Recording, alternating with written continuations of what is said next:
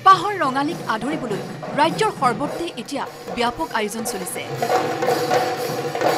ঠায়ে ঠায়ে অনুষ্ঠিত হৈছে বিহুৰ কৰ্মশালা।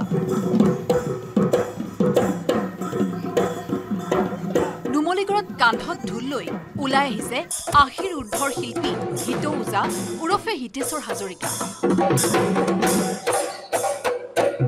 শিল্পীজনক বয়সে বাধা দি ৰাখিব পৰা নাই।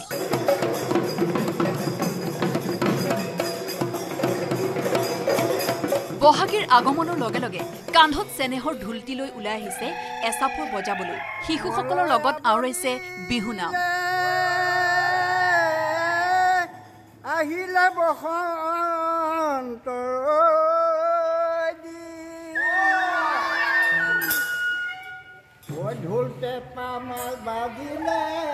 নাচনি নাচিলে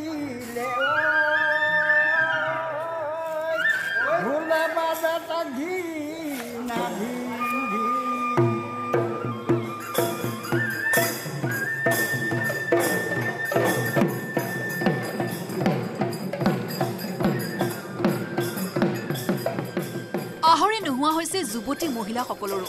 ঢেঁকীত পিঠাগুৰি খুন্দি দৈনিক পাঁচশৰ পৰা এহেজাৰ তিল পিঠা প্ৰতিদিনে তৈয়াৰ কৰিছে গহপুৰৰ এইসকল মহিলাই। এফালে নিৰ্বাচন আনফালে বিহু। তাৰ মাজতে ব্যৱসায়িক ভিত্তিত এইসকল মহিলাই পিঠা বনোৱাত দিনে নিশাই এতিয়া ব্যস্ত হৈ পৰিছে। আনন্দতে জুৰিছে বিহু নামো।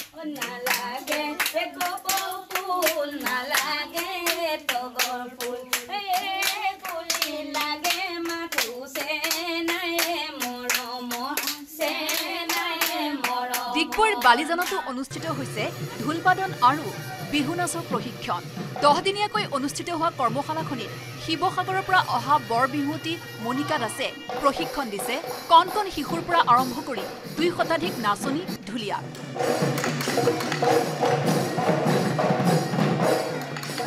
বাক্সা জিলাৰ জালাহতো অনুষ্ঠিত হৈছে বিহু কৰ্মশালা। জালাহ আঞ্চলিক ৰঙালী বিহু সন্মিলনৰ উদ্যোগত অনুষ্ঠিত হয় সাতদিনীয়া বিহু কৰ্মশালা। শতাধিক নাচনী আৰু ঢুলীয়াই অংশগ্ৰহণ কৰিছে এই কৰ্মশালাত। সমূহ অসমবাসীলৈ ৰঙালী বিহু তথা অসমীয়া নতুন বছৰৰ অলপ যাচিছোঁ। যাতে সকলোৰে মনবোৰ ৰঙেৰে ভৰি পৰক আনন্দৰে উপচি পৰক তাৰে এই ভগৱানৰ ওচৰত মই প্ৰাৰ্থনা জনাইছোঁ। নলবাৰীৰ টিহু হাইস্কুল খেলপথাৰতো অনুষ্ঠিত হৈছে বিহু নাচ আৰু বিহু বাদ্যৰ কৰ্মশালা য'ত এশ পঞ্চাছতকৈ অধিক ছাত্ৰ ছাত্ৰীয়ে প্ৰশিক্ষণ লৈছে। নতুন প্ৰজন্মক সঠিক আৰু সুন্দৰভাৱে প্ৰশিক্ষণ দিয়াৰ উদ্দেশ্যেৰে আয়োজন কৰা হৈছে এই বিহু কৰ্মশালাৰ। আনহাতে তেজপুৰ সদৰ আঞ্চলিক ছাত্ৰ সন্থাৰ দ্বাৰা আয়োজিত বিহু কৰ্মশালাই এইবাৰ ভৰি দিলে ছাব্বিছ বছৰত। পূৰ্বৰ দৰে তেজপুৰৰ মাজগাঁও জাতীয় শ্বহীদ বাকৰিত বিহু নাচ আৰু ঢোল বাদনৰ প্ৰশিক্ষণ অব্যাহত আছে এইবাৰো। Report news eighteen Assam north east.